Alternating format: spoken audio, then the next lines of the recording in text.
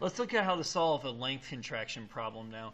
So we do it the same way as we do with time dilation. We want to figure out what is the length uh, that's measured by an observer in the reference frame, what's the length measured by an outside observer, and then what's the velocity of the motion uh, in the problem. So for this one here, we're going to have L, L naught, and V. So again, L is measured by uh, from an outside reference frame or outside perspective.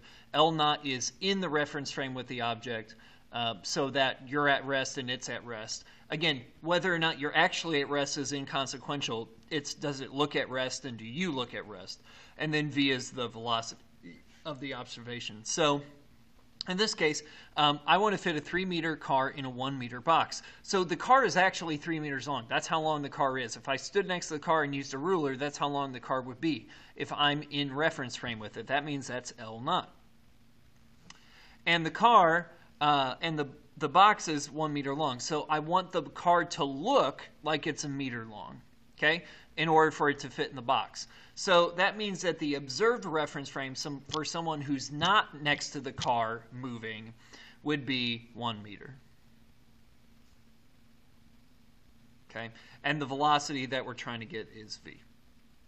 So you'll notice that this is backwards from what the previous problem was. So the previous problem, the time t naught was smaller than t, and in this one, the length L naught is larger than L. And you may be wondering why that is. Well, it's called time dilation. That means that the, uh, the measured time from an outside perspective is dilated, which means larger than the time that's measured, the proper time measured in reference frame with whatever's going on.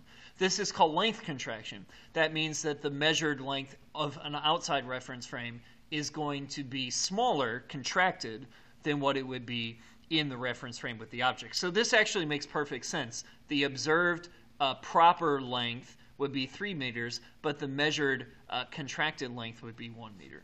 Okay? So the equation is L equals L naught times the square root of 1 minus v squared over c squared. So plug the numbers in. So L is 1, L naught is 3, square root of 1 minus v squared over c squared. Again, notice I'm not plugging in the value for c, I'm just leaving it as c. Divide 3 to both sides. That gives you a third, so 0.3 for those of you who prefer decimals. Now, at this point, you're probably saying, well, I don't know what to do next. Well, you can't solve for v until you get rid of the square. And you can't get rid of the square until you deal with c squared. And you can't deal with c squared until you deal with this 1. And you can't deal with this 1 until you get rid of the square root. So, in other words, in others, instead of freaking out about the whole thing, just do one step at a time. Get rid of the square first. So, getting rid of the square root is squaring both sides. When I do that, I get 0.1 repeating. And that's equal to 1 minus v squared over c squared. Now I need to get rid of that 1, so we're going to subtract 1 to both sides.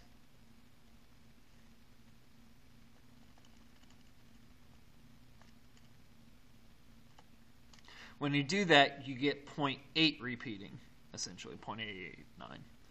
Okay, so we get uh, negative 0.89 equals negative v squared over c squared. I'm going to go ahead and drop that negative sign because it's on both sides. So if I divided both sides by negative 1, it would cancel those negatives out. At this point, I'm going to multiply c squared to both sides. Again, I'm leaving it as c squared.